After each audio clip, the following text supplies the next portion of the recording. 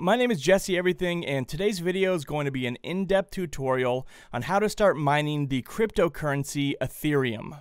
I'm going to assume that you know nothing about this process and I'm going to take you through from the very beginning step of setting up an Ethereum wallet to showing you where and how to download the correct software, how to configure that software, and then immediately start mining Ethereum so that you can see results.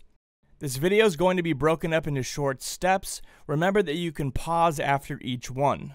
Step 1. The first thing that we need to do is set up an Ethereum wallet so we have a place to store our Ethereum after it's been mined. Open up your web browser and navigate to the site myetherwallet.com. Once we're here, we're going to enter a password in this box to create our new wallet. You want to make sure that this password is strong, and I would recommend that it's 16 characters long and uses a combination of uppercase letters, lowercase letters, numbers, as well as symbols. Before you type the password in here, I would highly suggest writing it down on a piece of paper and having it stored in a safe location. Once you've selected your password, enter it into this box. Hit Create New Wallet. Step 2. Now that our wallet's been created, we need to save a copy of our key store file, which gives us encrypted access to our Ethereum wallet. For the purposes of this tutorial, we're going to be keeping our key store file directly on our desktop hard drive. This leaves it vulnerable to hacking, and I would recommend removing it as soon as you have backups to your file.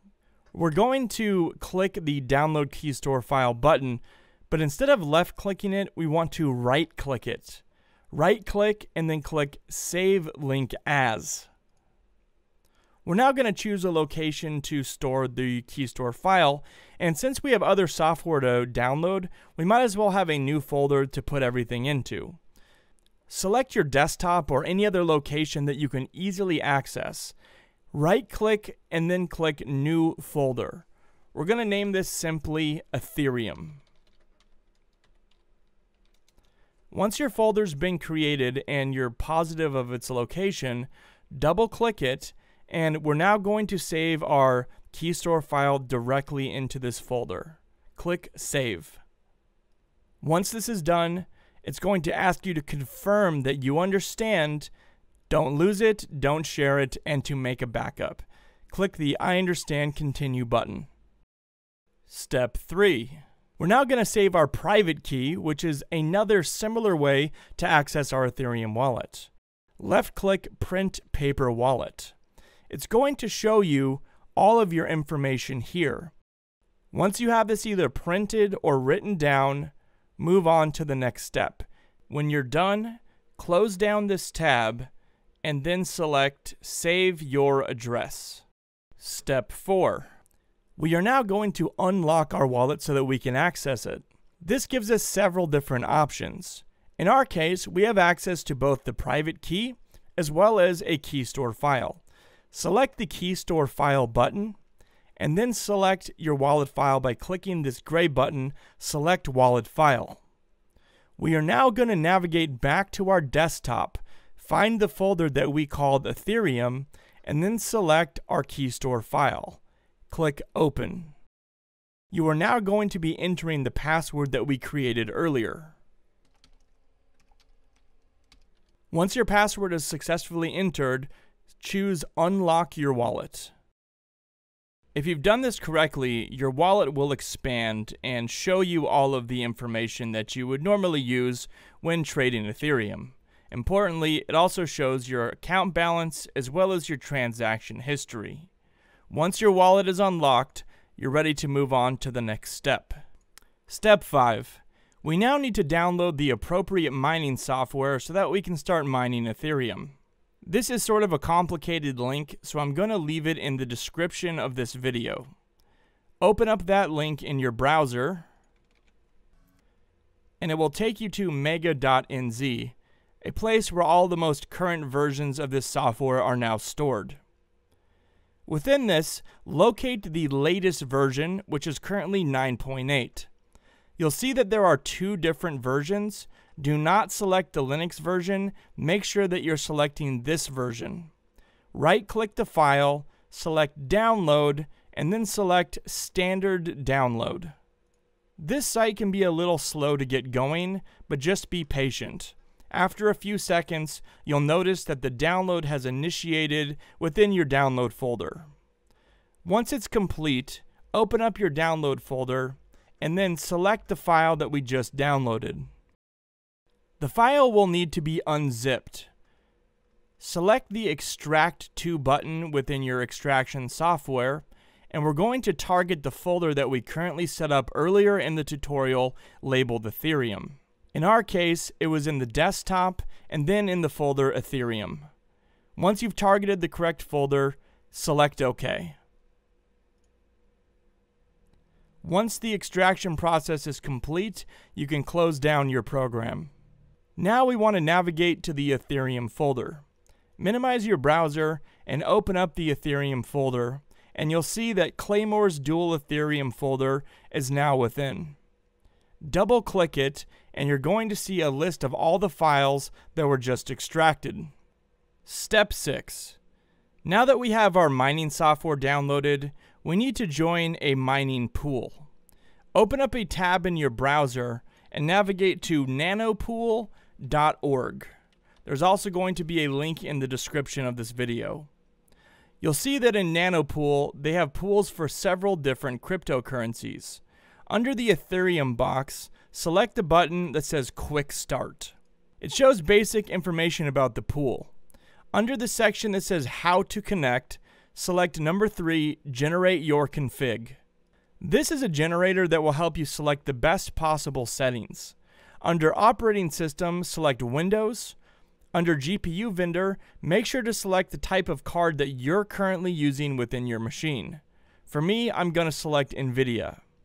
The worker name can be set to whatever you like, but it's generally a default to set it as worker1 or rig1. You can really name it whatever you want. In our case, we're going to leave it as the default rig1.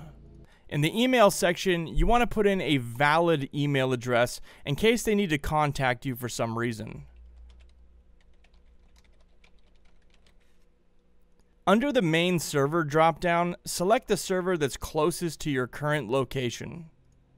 In the first algorithm address, we need to put in the address of our Ethereum wallet. Navigate back to myetherwallet.com at the top of your browser. If you manage to close it, log back in as we did before. You'll see down under account address, copy your current Ethereum wallet address, hit Control C to copy, go back over to the Nanopool generator, click the box, and press Control V to paste. This mining program allows you to mine two currencies at once, but I only want to mine Ethereum, so for the second algorithm, I'm going to put none. Once you have this set up exactly like this, hit the button that says Generate. You'll notice that a new download has been started. Once you see that happen, you can close this down. Navigate back up to the download folder and open up the file that says Claymore config nanozip. Select the extract to button. For the destination path, once again, we're going to select the folder that we created, in our case on the desktop, and then within the Ethereum folder.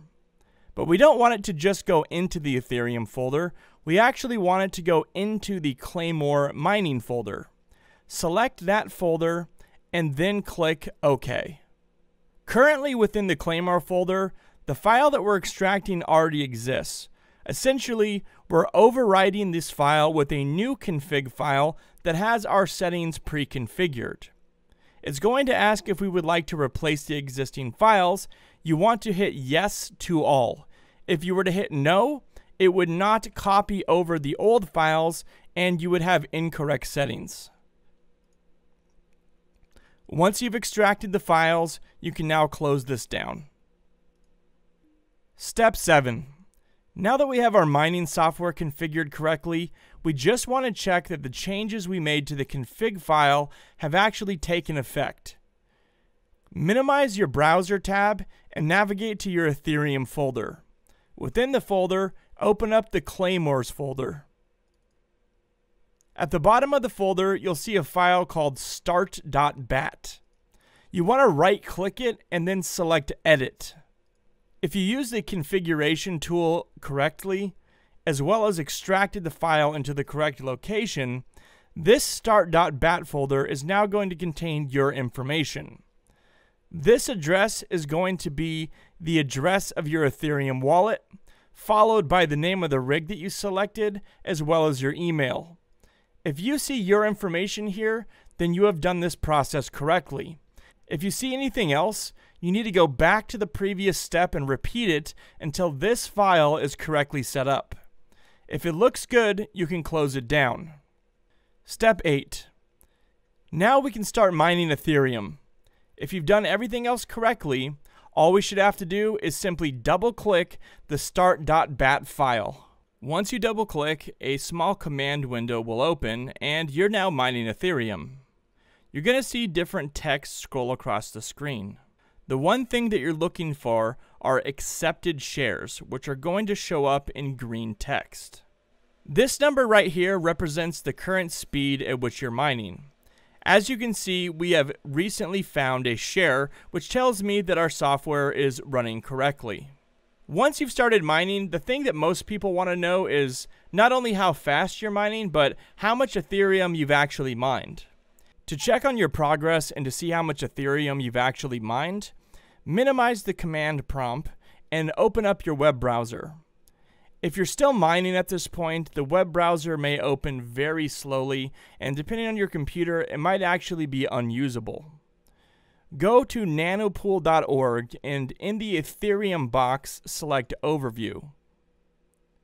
If you want to check your own stats, the way that you find your address is by pasting your Ethereum wallet into the address bar and then hitting search.